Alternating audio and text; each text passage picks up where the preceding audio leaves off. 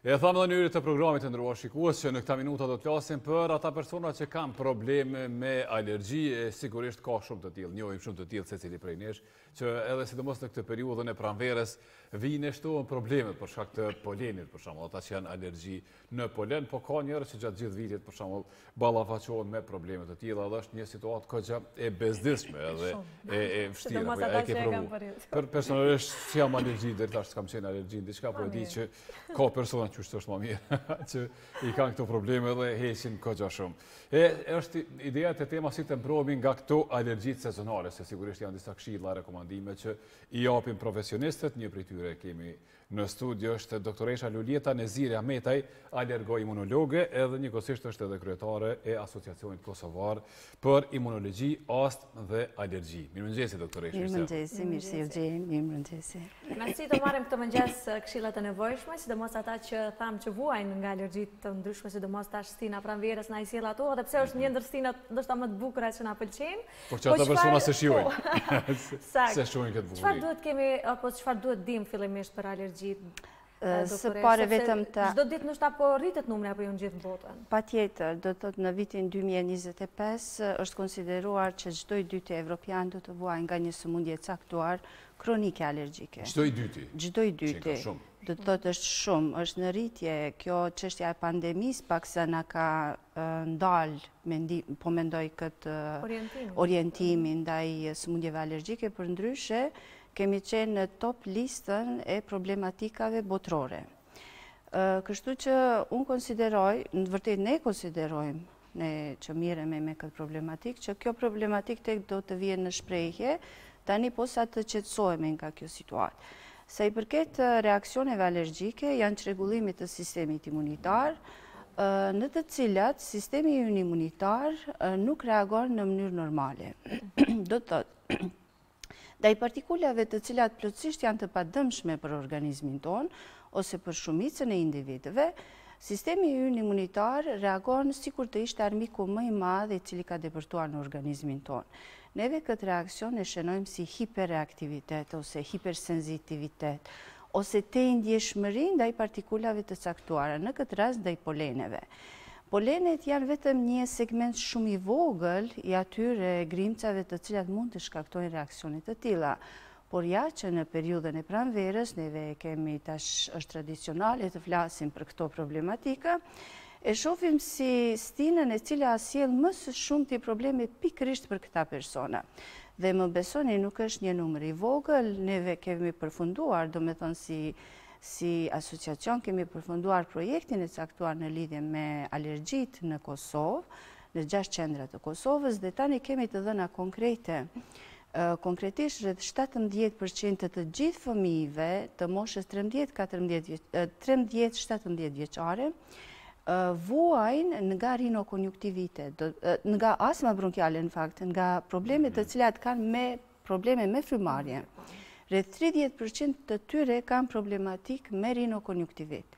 Domethënë problematikë... Që është me gjuhë pak ma të kapshme për audiencën, doktoreshë? Do ta sqaroj, do të të është çrregullim inflamator i rrugëve të sipërme të frymëmarrjes, domethënë i hundës dhe i syve, që shkon me teshtima, me kruarje hunde, Me rrjedhje hunde ose mbyllje hunde ose kruarje sysh, lotim sysh, skuqje sysh etj. Ndërsa rreth dhjetë për qind të tyre kanë probleme me ekzemën. Të gjitha këto janë shifra të larta, domethënë jam i befasuar për të keq në këtë aspekt, sepse kemi krahasuar të dhënat me të dhënat e regjionit dhe të dhënat botërore. Dhe kryesisht janë fëmijët ata që preken më tepër apo s'ka rëndësi? Janë të gjithë, por projekti ka përfshirë dy grupmosha. gjashtë-shtatë vjeçarët dhe këtë grupmoshën trembëdhjetë të adoleshentëve.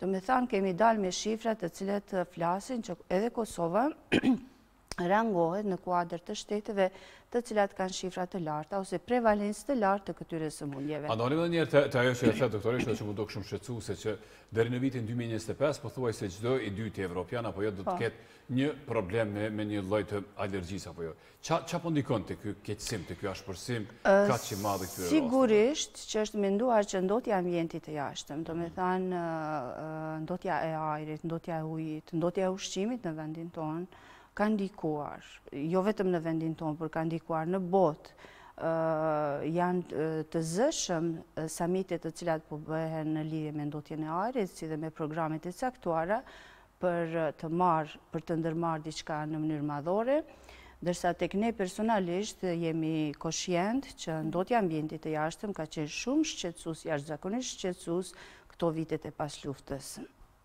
Doktoreshë, po ka alergji që nuk po dihen faktorët apo shkaktarët kryesorë se nga vijnë? apo jo.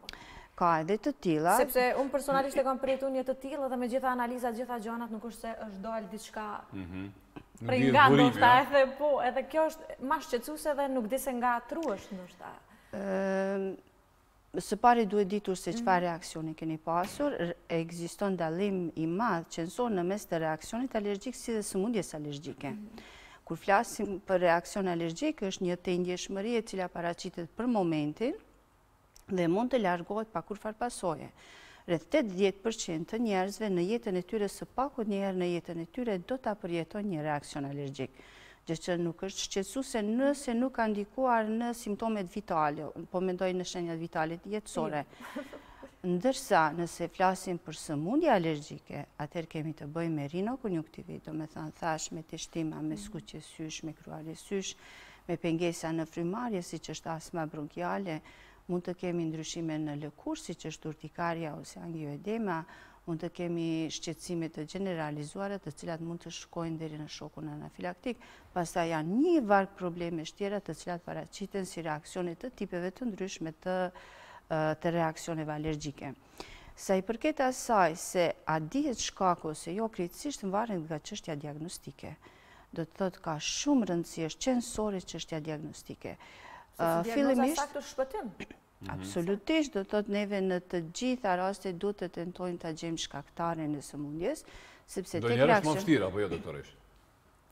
është në një deri në 2% të rasteve, themi se kemi të bëjmë me raste idiopatike, kur nuk gjindet fare shkaktari. A ka raste? Ka raste të tilla. Një prej tyre paskemi edhe në studio. Ndoshta nuk janë çrregullime kështu kronike të herëpashershme. Ka qenë vetëm diçka. Po, jo, mos e personalizojmë, po si si po, raste paska po. paska mundësi. Por kemi raste të tilla të pacientëve të cilët kanë bezdi për çdo ditë, ata kanë probleme të tilla. Si është kualiteti atë po e mendoja doktoreshë derisa po thoni për shembull për personat që kanë probleme ta zëmë, ose me polen, ose me, nuk e di, me një lloj, me një diçka, çkado qoftë ajo, pluhur, për shembull, njerëzit që, që janë mhm. alergjik në pluhur, kam përshtypje që janë, kanë më shumë probleme, për shkak mhm. se pluhur ka gjithandej, në secilin ambient të mundshëm. Pra, si është kualiteti i jetës së këtyre personave? Absolutisht, është shumë i dëmtuar, mhm. domethanë, kemi, kemi edhe pytësorë dhe studime të cilët kanë të bëjnë në lidhje me çrregullimet dhe pasojat psikologjike, jo vetëm individuale, por edhe në rrethin. Paramendoni një një fëmijë i cili tani krejtësisht varet nga simptomatologjia. Mhm. Një fëmijë i cili ballafaqohet me shokun, me anafilaksën. Domethanë kemi fëmijë të cilët janë anafilaksën. Anafilaksa mhm. është gjendje e cila rrezikon jetën. Domethanë mund të, mund të jetë tani isha duke e sqaruar, dhe të mund të jetë e ndjeshmëri ndaj qumshtit, ndaj vezës, ndaj kikirikut, ndaj lajthisë, domethënë, ndaj ushqimeve të caktuara, kryesisht, mund të jetë anafilaksë ndaj bletës, mhm. që për 10 minuta mund të përfundojë me vdekje. Për individin e rritur, individi i rritur është i vetëdijshëm për situatën e tij. A po më kuptoni, do të thotë edhe neve si mjek ia sqarojmë, po, mirëpo, është çështja jashtëzakonisht e ndërlikuar kur kemi të bëjmë me fëmijët, sepse ata pjesën më të madhe të ditës e kalojnë jashtë shtëpisë, domethënë në institucionet parashkollore dhe shkollore. Dhe këtu problematika është shumë e lartë, domethënë bëhet multifikohet problematika. Duhet të kemi programe të caktuara, jo vetëm neve mjekët, po gjithashtu edhe kujdestarët përkatës, të cilët duhet të dinë sidomos të dhënat themelore ose njohuritë themelore që kanë të bëjnë në lidhje me alergjitë. Përndryshe, alergjia është problem global. Mhm. Po çfarë këshilloni doktoreshë. Nëse dhe frizë e sa i ndërgjësimit, apo jo, për po. astmën edhe alergjitë. Nëse është fjala... Se që me ngrohjen e, po, temperaturave... Sepse ne kaluam nga tema në po. temë, kaluam në shumë, në disa tema, si duket... Po të shka kuaj të me rëmulaksu, po. Si duket keni, jeni shumë kuriozë për alergjitë. Nëse është fjala për alergjitë stinore, zakonisht pacientët janë të vetëdijesuar për këto tipe të alergjisë. sepse këto shkaktohen nga polenet, nga grimca të caktuara të bimëve të caktuara, të cilat lulëzojnë në periudhë strikt kohore.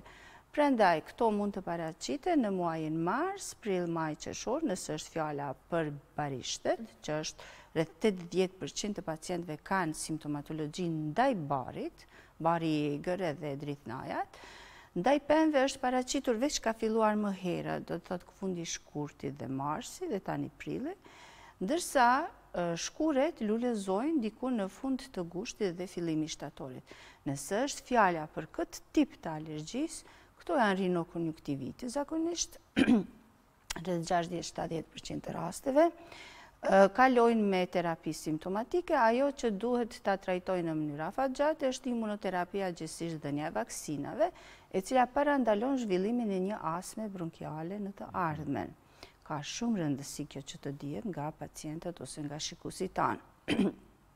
Ndërsa, nëse është fjala për një kros reaktivitet, sepse polenet pastaj mund të reagojnë në mënyrë të kryqëzuar, nëse nuk mjekohen që në fillim, nëse nuk kapen që në fillim, Pacienti jo vetëm që senzibilizohet edhe ndaj shkaktarëve tjerë, do të thotë i themi që bëhet i polisenzibilizuar, do të thotë senzibilizohet tani jo vetëm në një polen, po në shumë polene, gjë që na e vështirëson pastaj trajtimin, por ka mundësi që në të ardhmen të zhvillojë një reaksion të kryqëzuar neve themi. Reaksioni i kryqëzuar është gjendje në të cilin organizmi ynë pastaj reagon ndaj frutave, ushqimeve të cilat i hamë në përditshmëri. Këtu pastaj fillon ajo problematika.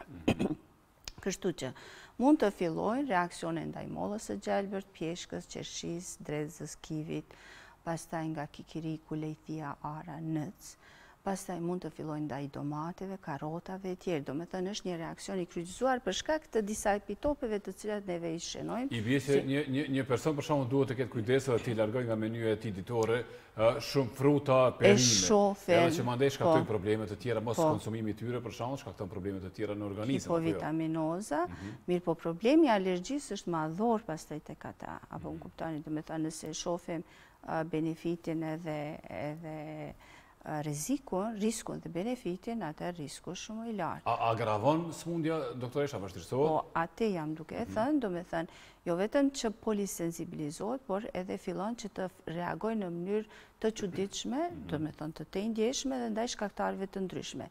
Lëre pastaj që 35% të tyre do të kemi pastaj reaksione, mund të kemi reaksione edhe ndaj bletës dhe ndaj konsumimit të mjaltit. Mhm. Urna? Kam takuar persona po e zëmë që e kam pikërisht këtë nga bletët, po, kështu që... Nga pickimi i bletës, apo... Po. Pickimi i bletës, do të thotë... Pra, përsëri aty do të kemi një cross reaktivitet, mm. kështu që problematika shumëfishohet, po them, ose multifikohet. Domethënë a është rritur vetëdijesimi tek qytetarët, apo jo vijnë, është shumë herët për trajtim, apo jo? Po, Po, është rritur vetëdijesimi, duke ju falenderuar edhe masmediave siç jeni ju dhe ju faleminderit, vërtet keni bërë një punë të mirë të shkëlqyer në këtë drejtim, sepse gjithëherë kemi nevojë për informacione të tilla, pastaj kemi edhe gjenerata të cilat kemi përdorin shumë internetin, kemi shumë të dhëna, do të thotë nga shoqatat përkatëse, Kemi komunikime me shoqatat botërore, kështu që informacionin e kemi nga dora e parë për të gjitha këto, edhe për çështjen e simptomatologjisë, edhe për çështjen e diagnostikës, edhe për çështjen e trajtimit. Do të thotë jemi jemi mirë në këto aspekte. Në fakt atë që tha doktoresha ne kaluam nga tema në temë, po krejt kjo edhe në interes të shikuesve se e dimë që ka shumë shikues që mezi presin ta marrin një informacion, ta marrin një informacion pra nga dora e parë, nga profesionisti edhe të informohen Por aq sa kemi mundësi, ne do t'ju ftojmë sërish, edhe flasim edhe për tema edhe për problematika konkrete, se secila prej tyre sigurisht është temë vete edhe edhe do një trajtim kështu shumë të gjatë. Faleminderit shumë për sot. Faleminderit nga ju. Kënaqësi që biseduam. E, ne po shkëputemi për pak të nderuar shikues, pas pak e ndjekim edhe edicionin e dytë të lajmeve, apo jo? Kthehemi pastaj.